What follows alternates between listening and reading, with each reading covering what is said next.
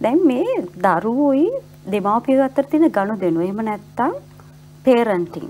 දැන් මේකේ අර ඩොක්ටර් චතුරි කිව්වා වගේ හොඳ අම්මා හොඳ තාත්තට වඩා අපිට පුළුවන් නම් අපිට පුළුවන් තරම් හොඳ කෙනෙක් වෙන්න. හිටියට වැඩිය දරුවත් එක්ක මේ තියෙන ගනුදෙනුව හොඳ තැනකට ගේන්න. දරුවාගේ ආත්ම විශ්වාසය. එහෙම නැත්නම් දරුවාගේ වර්ධනය.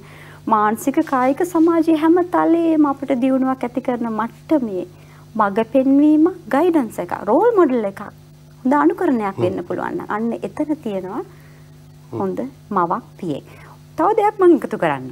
දැන් ඇහුවනේ අම්මගේ මානසික තත්ත්වය. දැන් අපි හිතමු අම්මා දුකෙන් ඉන්නේ.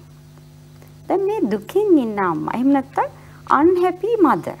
අම්මා දුකෙන් නම් දරුවා සතුටු වෙයිද?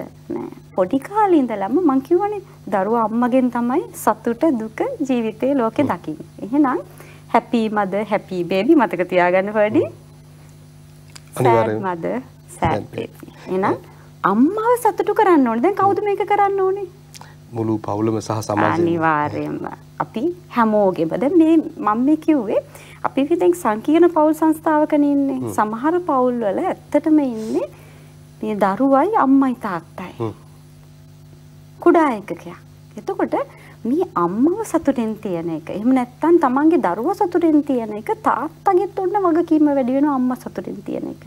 ඊට එහා ගිහිල්ලා රස්සාවට යන අප වගේ අයගේ නේද? අපේ අම්මලා තාත්තලා තමයි දරුවෝ රක බලාගන්නේ. එතකොට ඒ අම්මලා තාත්තලට මේ දරුවෝ සතුටෙන් තියන්න මුළු පවුලම සතුටෙන් තියන්න අම්මා සතුටෙන් තියන්න ඕනෑ කියන එක එක පණිවිඩයක්. ඔබතුමියට මම දෙයක් එකතු කරනවා නම් ඇත්තටම දැන් ඒක බොහොම සංවේදී තැනක්.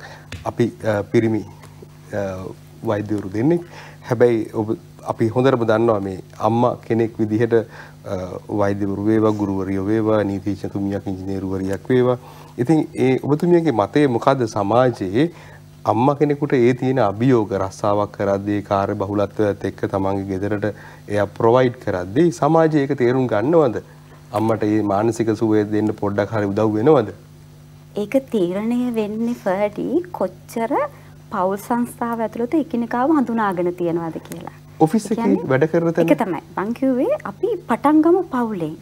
අපි දන්නවද මේ අම්මා අත්වදින අත්විඳින එහෙම නැත්නම් මේ දරු ප්‍රසූතිය ගර්භණී භාවය එහෙම නැත්නම් කුඩා දරුවත් එක්ක මේ අම්මා අත් දකින විදින තත්ත්වයන්.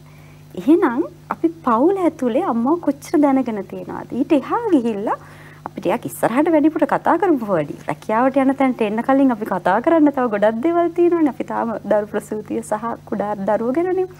රැකියාවට යන තැනදී අනිවාර්යයෙන්ම ඒකයි මං කිව්වේ පවුල සමාජය මේ මගේ වගකීම මාත් එක්ක වැඩ කරන හැම අම්මා කෙනෙක්ම බලා ගන්න එක මගේ වගකීම වෙනවා මං උණ පුරණක් එකතු කරන්නම් මං කලින් කරපු දෙයට දැන් මානසික වර්ධනය වගේම අපි රැකවරණය කියන එක සේෆ්ටි නෙට්වර්ක් එක කියන එකේදී දරුවට පෝෂණය කිරි දෙන එක වගේම ආදරයෙන් කිරි දෙන එක එයාගේ වර්ධනයට අම්මා ඉන්නවා කියලා සේෆ්ටි නෙට්වර්ක් ආරක්ෂිත රැකවරණයක් තියෙනවා කියන්නේ එන්නේ ආරක්ෂක හැඟීම කියන එක මුළු පවුලටම දෙන්න පුළුවන්. ඒක අම්මා නම්බර් 1 වෙන්න පුළුවන්.